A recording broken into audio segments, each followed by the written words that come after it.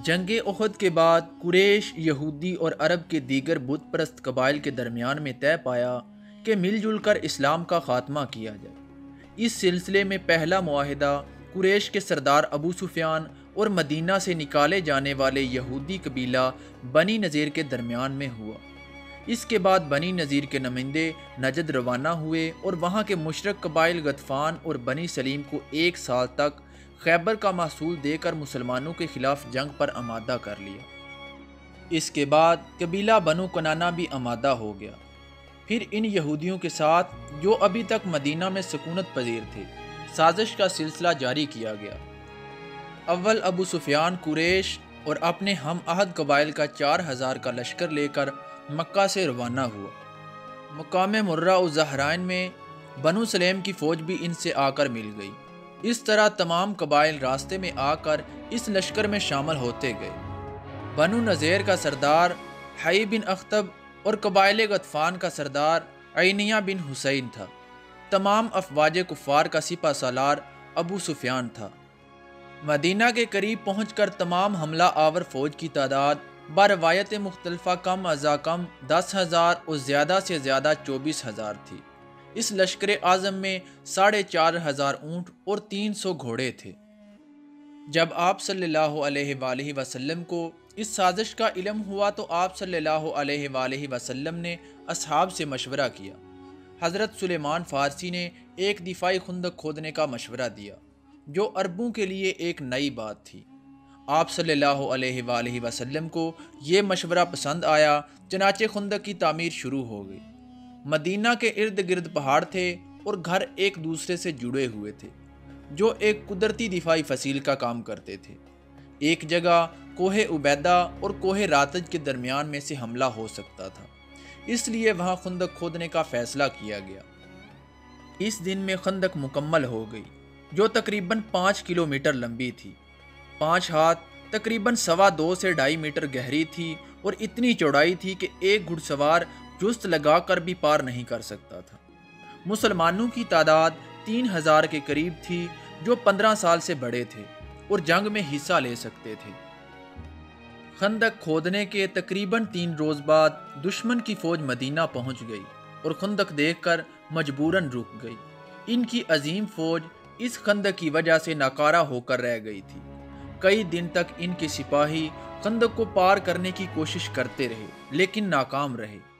कुछ दिनों बाद उमरू बिन अबद की क़्यादत में पाँच सवार, यानी Amr bin अबद, Ikrimah bin Abu Jahl, Zarrar bin Khattab, Nawfal bin Abdullah और इबन अबी वहब ने खंदक को एक कम चौड़ी जगह से पार कर लिया। उमरू बिन अबद अरब का मशहूर सूरमा था और इसकी दहशत से लोग कांपते थे। उसने सिपाही इस्लाम को ललकार कर जन्नत का मज़ाक बनाते हुए कहा ए जन्नत के दावेदारों कहाँ हो? क्या कोई है जिसे मैं जन्नत को रवाना कर दूँ, या वो मुझे दोजख में भेज दे और अपनी बात की तकरार करता रहा? आप सल्लल्लाहु अलैहि वसल्लम ने फरमाया, कि कोई है जो इसके शर को हमारे सरों से दूर करे? हज़रत अली ने आमादगी ज़ाहिर की। इस वक्त आप सल्लल्लाहु अलैहि वसल्लम ने उनको इजाज़त ना दी और दूसरी और फिर तीसरी मरतबा पूछा। तीनों दफ़ा हज़रत अली ही तैयार हुए। आप सल्लल्लाहु वसल्लम ने इन्हें अपना इमामा और तलवार अता की और फरमाया कि कुल ईमान, कुल कुफर के मुकाबले पर जा रहा है। एक सख्त जंग जिसके दौरान में गर्दो गुबार छा गया था, नारे तकबीर की आवाज़ आई।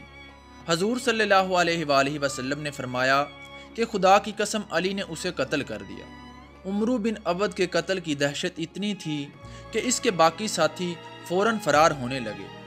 नवाफल बिन अब्दुल्ला फरार होते हुए खंदक में गिर गया, जिसे नीचे उतरकर हज़रत अली ने कत्ल कर दिया। बाकी फरार हो गए। आप सल्लल्लाहु अलैहि वसल्लम ने फरमाया कि रोज़े खंदक अली की ज़रब तमाम जिन्नों इनस की इबादत से अफजल है। जब मुहासरा तूल पकड़ गया तो बनी कुरेज़ा, कुरेश, गतफ़ान और दूसरे कबाइल में इख्तलाफ नमूदार होना शुरू हो गए और बददिली फैल गई। एक दूसरे के बारे में बदगुमानी पैदा हो गई और ऐसे लोग सामने आने लगे जो जंग जारी रखने के हामी नहीं थे। इन इख्तलाफात ने इन्हें आपस में मसरूफ़ रखा, यहाँ तक कि खुदाई मदद आ पहुँची। एक रात शदीद और सर्द आंधी चली, जिसने मुशरकिन के खैमों को उखाड़ फेंका और इनकी रोशनियाँ बुझा दी। शदीद गर्दो गबार से फ़िज़ा तारीख हो गई और मुशरकिन ने फ़रार होने को तरजीह दी और मक्का की तरफ़ रवाना हो गए। बाईस दिलकद बुध के दिन तक लश्कर कुफ़ार में से कोई भी बाकी ना रहा और शदीद माली और जानी नुकसान के बाद इनके हाथ कुछ ना आया। आप सल्लल्लाहु अलैहि ने इजाज़त दे दी कि मुसलमान महाज को छोड़कर अपने घरों को चले जाएँ। इस जंग में मुसलमानों के छः अफराद शहीद हुए और मुशरकिन के आठ से ज़्यादा अफराद खलाक हुए। माली नुकसान बहुत शदीद था। ये मुसलमानों की शानदार फतह थी। जिसमें खंदक खोदने की तदबीर बड़ी काम आई। मुशरकिन बहुत देर तक इस जंग के असरात से संभल ना सके। इस जंग के बारे में सूरत अहजाब में आयात 9 से 25 नाजल हुई।